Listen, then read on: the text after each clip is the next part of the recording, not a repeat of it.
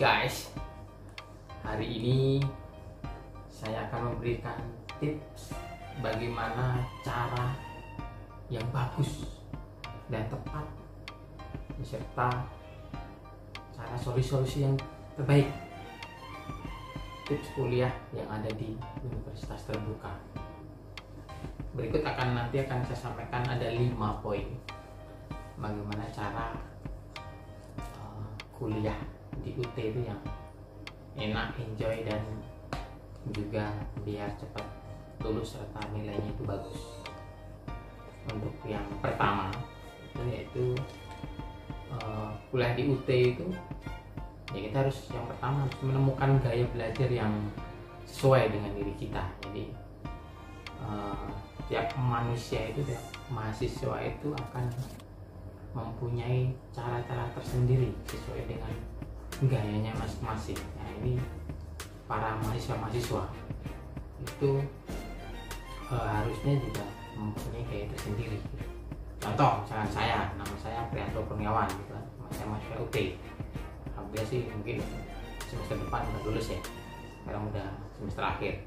Nah itu saya mempunyai gaya, yaitu e, setiap UT itu kita pelajari dulu gitu. Ya mata kuliahnya yang mau kita ambil apa nanti pengerjaannya kita sesuaikan dengan uh, waktu senggang kita. Kalau misalnya saya kerja di kantor ya nanti kita lihat makan malam atau sore hari kita baru mengerjakan soal-soal yang ada di tutor online dan sebagainya. Itu jadi kita lihat lihat dulu gaya kita itu seperti apa dan juga uh, waktu kita seperti apa.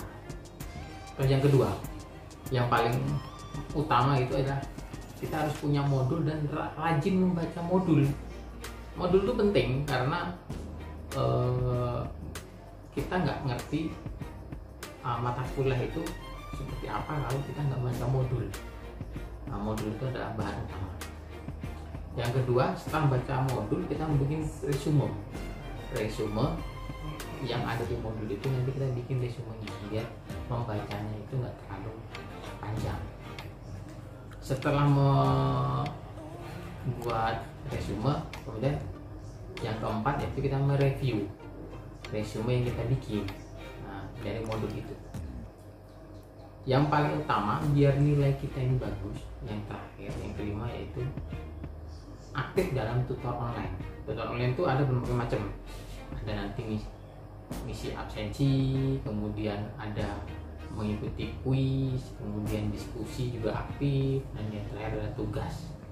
Karena presentase tutor online cukup menentukan bagi uh, keberhasilan atau bagus tidaknya nilai dari akhir dari mata kuliah tersebut.